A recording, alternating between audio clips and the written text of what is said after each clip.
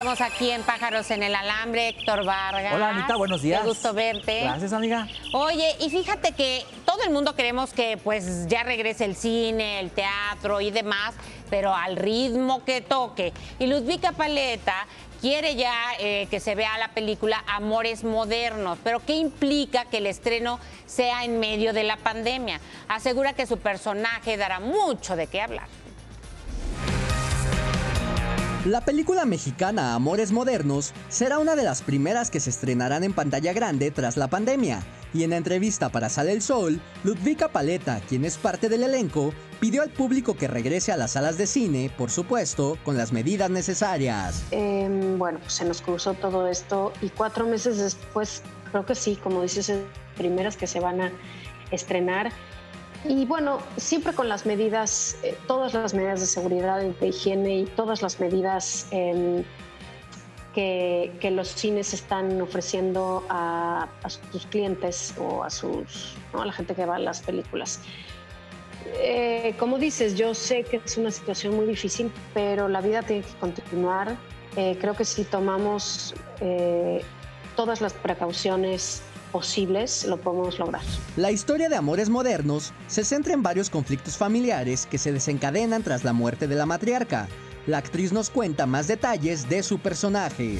Yo creo que es básicamente una mujer aburrida. Yo creo que es una de estas mujeres que se han dedicado a su familia toda su vida.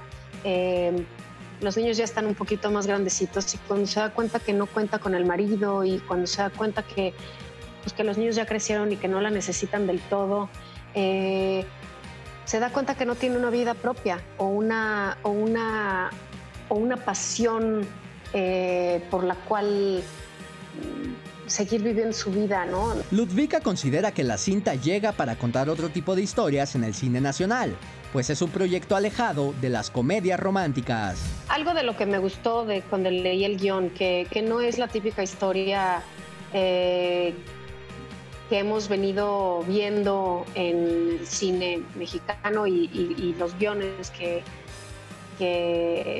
bueno, que se están haciendo últimamente, que que no es que no me gusten, es que creo que este es un poquito diferente y es una apuesta hacia lo menos comercial, por llamarle de una manera. Es una historia, pues, bastante común, bastante normal, porque no se sale de lo normal, no se sale de nada que no conozcamos. Pero justamente por lo mismo creo que es una historia con la que nos podemos relacionar fácilmente. Soy Marco Mejía. La vida brilla más cuando sale el sol. Pues sí, la vida tiene que volver, pero los cines ahorita no los han abierto todavía, ¿verdad? Exactamente, faltan cines, teatros, iglesias y gimnasios, según yo. Pues estamos en espera de, conforme la evolución de esta pandemia, pues ya se puedan reabrir y que cambie el semáforo y todo, pero bueno, esta será de las primeras películas.